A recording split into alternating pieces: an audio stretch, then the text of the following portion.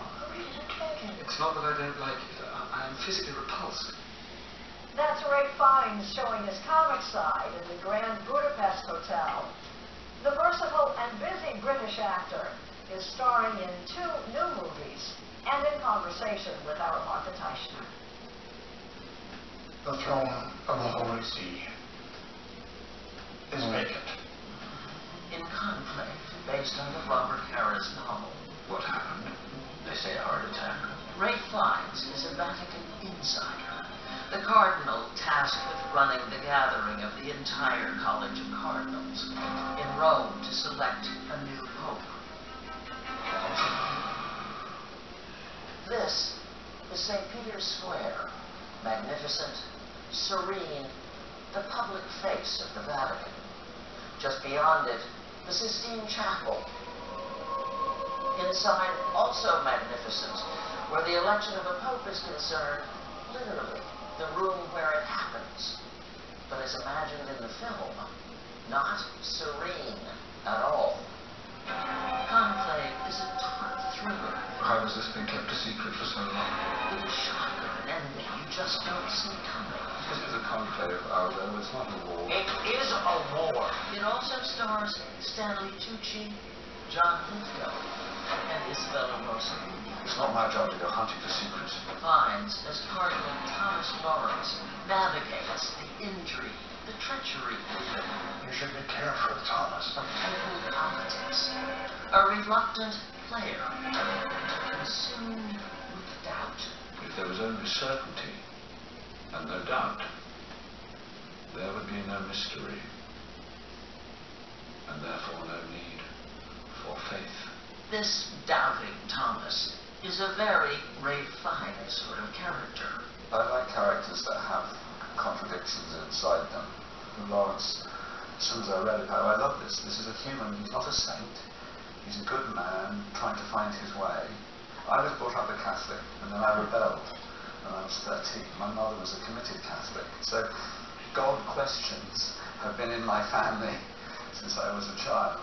Did you come away with anything answered of your own questions? Uh, no, I came away with more questions. We use that lovely line.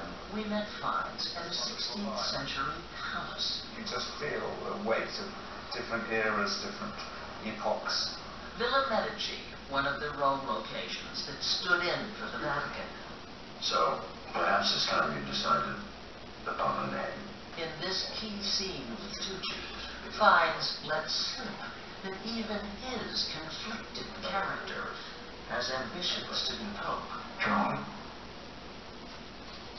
I would choose John. I used to think that acting was about becoming someone else. You changed completely and you were not recognizable to a certain extent. It can be about that. But as I've got older, I thought, no, the springboard is yourself. What will the people say when they see I have returned alone? That I led all their men to their deaths.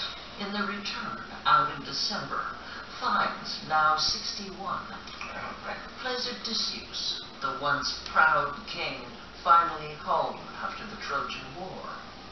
He's exhausted, he's emaciated, and also just, I think, not, not at all the warrior. So, who are you? He's diminished as a man. Fiennes had to transform himself physically for the role. We said he should look ropey, like he's, like literally he's been at sea. Slowly reclaiming his identity, Odysseus finally faces his wife Penelope, played by Juliette Binoche. What does Queen think? The chance to work again with Binoche, a longtime friend, was what convinced Fiennes to do the film, their third together. We've been given this gift of these famous, iconic parts. It may sound a bit airy-fairy, but I think all actors say, oh, this role has come to me and I meant to, I don't have to do that. I meant to do this, it's come to me and this other person is doing it. I found plums. We had plums in the orchard. The English Patient was another one of those for both of them. It won nine Academy Awards, including Best Supporting Actress for Binoche. Fiennes received one of his two career Oscar nominations. He's played dozens of singular characters, good and bad, in both films and plays. Uh, Lisa, yeah. In addition to Gustave in the Grand Budapest Hotel, She's been murdered. And you think I did it? he was Voldemort, a noseless monster in the Harry Potter series. And a Nazi concentration camp commandant in Schindler's List. What's a person worth? No, no, no, no. What's one worth to you?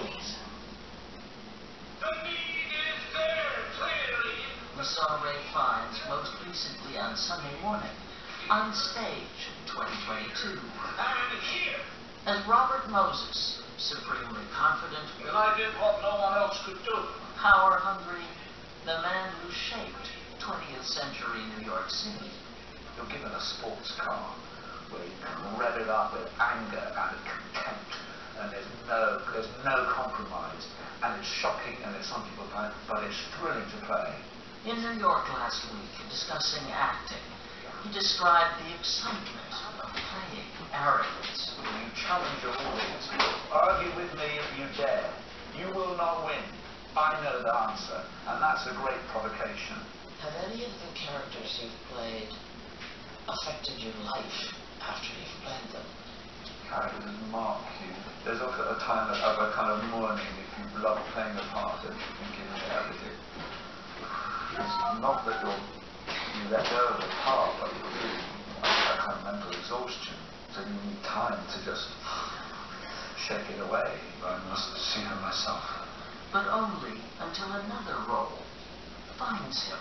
The welfare of the sister is my responsibility. And this conclave is mine. People sometimes say, what do you want to play? And I go, well, I, I could tick off a few Shakespeare parts or well-known Ibsen parts, but actually that's not really it. I like, I want to be surprised by a new script, something I've never heard of, and you go, oh yes, oh my God, what is this new thing? I've, never, I've not I've not heard of it, I've not read the source material, it's, and this all feels, it feels good, it feels right. See you tomorrow. We love you. We'll see you here on the Family Feud. Show until next time, this is Peter Tomarken on behalf of the Focati Rug saying thanks for pressing your luck. Bye bye. Anyway, we have just 10 seconds to say goodbye. We'll see you uh, tomorrow. So long. Bye-bye. Yeah. We got five seconds. Oh no, we have three. Two, one. Bye.